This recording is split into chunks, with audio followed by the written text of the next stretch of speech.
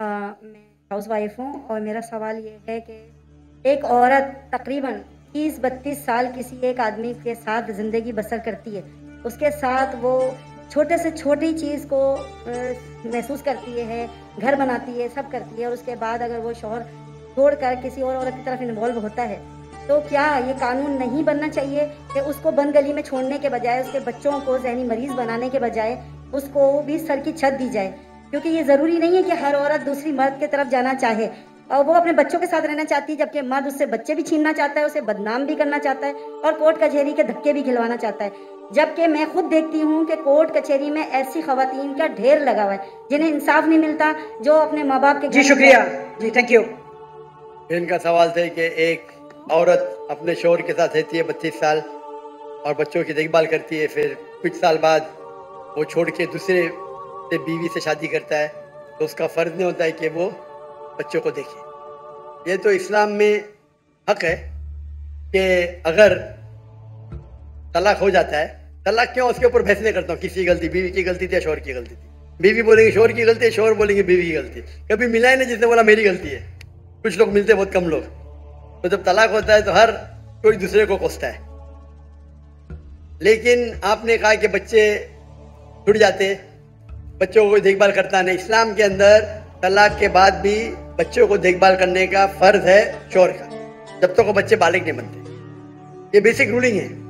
इसमें कोई दो राय नहीं है। अगर माँ बच्चे का देखभाल करती है तो शोहर को अपनी बीवी को, जो पुरानी बीवी थी, उसको महीने का खर्चा देना चाहिए बच्चों की देखभाल करने की ये कॉमन है। इसमें कोई दो राय नहीं है। तो इसके लिए आपको लीगल सिस्टम इस्लाम में इसमें पूरी इसकी पूरी तफसील है। अगर यहाँ फॉलो नहीं हो रही है अब मलेशिया में जाइए, माशाल्लाह। मलेशिया में शरिया कोर्ट है। इसलिए पंद्रह ममालिक से जब मुझे ऑफ़र आया था, पहले तो मैं घूमने आता था, तकरीर करता था, पता ही नहीं, तहकीक की पूरी। मलेशिया में भरे 63 परसेंट मुस्लिम थे, लेकिन वहाँ का कानून, इस्लामिक कानून, माशाल्लाह। फेडरल कोर्ट भी है, इस्लामिक कोर्ट भी है। तो ऐसे मामला वहाँ वहाँ का सोल्यूशन एकदम, माशाल्लाह, एकदम जस्ट है। तो यहाँ भी अगर इस्लाम में सब कानून बने हुए क्या होना चाहिए किसको कितना देना चाहिए खर्चा सब है ये। इस्लाम में है। नहीं इस्लाम में। यहाँ नहीं तो मैं मैं तो अभी जो यहाँ नहीं तो मेरी गलती है। तो मेरी गलती है। मेरा ख्याल है कि एक कानून ऐसा बनना चाहिए कि जिसके अंदर अगर औरत के साथ इस तरह का कोई मामला आता है जो उसमें बहुत लॉन्ग टाइम बाद अगर मर्द उसके इस्लाम में कानून भेद तो सर की छत दे। इस्लाम में औरत को दे। इस्लाम में कानून है।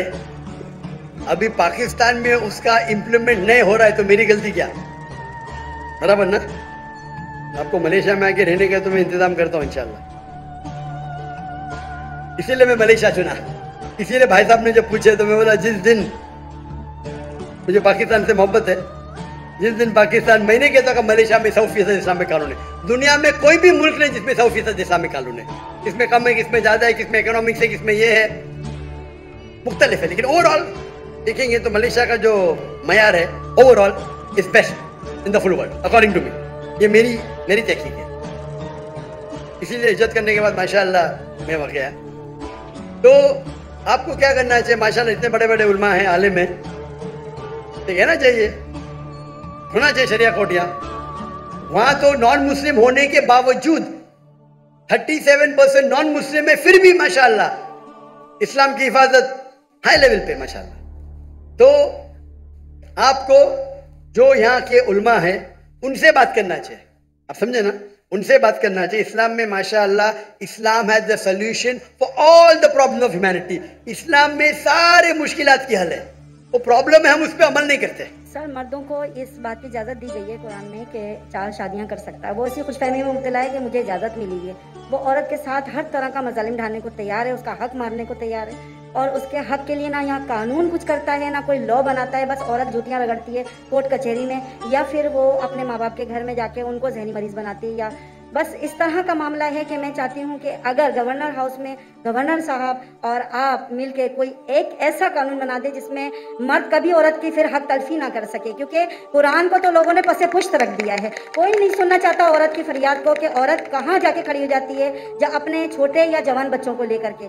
तो ये मैं आपसे गुजारिश करती हूँ ये बोलना कोई नहीं सुनना चाहता है मेरे हिसाब से जरा जास्ती है। गवर्नर साहब सुनते मैं भी सुन रहा हूँ। मैं सुन रहा हूँ ना? कर कुछ नहीं सकता वो अलग बात है। ये बोलना कोई भी नहीं सुन सकता हो ये कोई भी। अक्सर लोग नहीं सुनते बोलो मैं मानूँगा। कोई भी नहीं बोलना जरा। ठीक है क्या नहीं? तो अगर मर्द जास्ती कर रहे आप भी मत कीजिए। आप समझे ना? तो इसके लिए लेकिन आपको उन लोगों को अप्रोच करना है जो माशाल्लाह गवर्नर साहब है और बाकी उलमा हैं।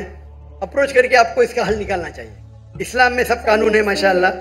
इस्लाम में कानून हूँ जी। और गवर्नर साहब से मिलने की ख्वाहिश भी रखती हूँ मगर यहाँ आने के बाद थोड़ा सा प्रॉब्लम होती है। जी। गवर्नर साहब से मिलना थोड़ा सा आसान काम नहीं है। जो माशाल्लाह गवर्नर सब लोग के साथ में बैठे इतने घंटे माशाल्लाह। इससे अच्छा गवर्नर तो देखा ही नहीं मैंने। जितना मैं चार दिन में देखा उसके बारे में बात कर रहा हूँ। माशाल्लाह देखो वो गेट नहीं खोले तो मैंने उनसे कंप्लेन किया तो गेट के ऊपर जाके और खुद जाके खोले। खुद खोले। मुझे यहाँ तकरीर करने की परमिशन नहीं मिली थी बता आपको?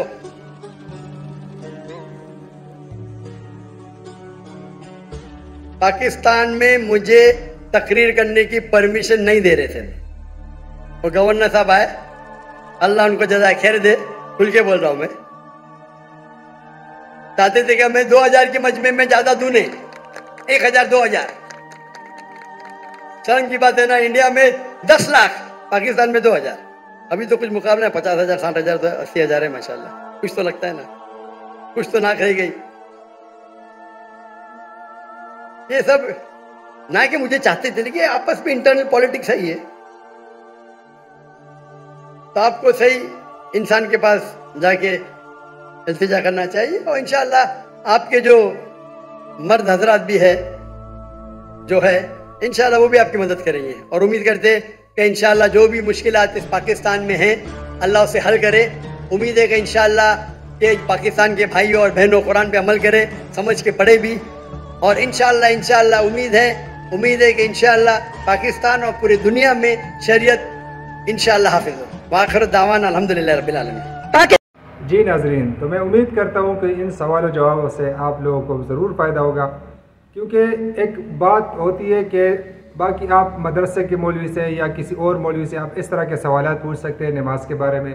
या किसी भी और छोटे बड़े मसले के बारे में। लेकिन डॉक्टर साहब से आप जो सवाल पूछते हैं या कोई और पूछता है उससे, लेकिन आप वो सुनते हैं और देखते हैं तो आपको भी अंदाज़ा हो जाता है कि यार ये सवाल ज़िंदगी में आगे जाके किसी गैर, दूसरे ममालिक में या कहीं आगे दूसरे शहर में या दूसरे मज़हब के लोगों के साथ आपका उठना बैठना होता है और उधर जाके अगर ये सवाल जवाब उठते हैं तो अगर आपने ये सवाल जवाब सुने होंगे गैर, गौर से तो इन आप लोग उनको मुकम्मल जो है ना जवाब भी दे सकते हैं और उनको मुतमिन भी कर सकते हैं। और अगर अल्लाह ने चाहा तो आपकी वजह से हो सकते हैं, वो दर इस्लाम भी दाखिल हो जाए।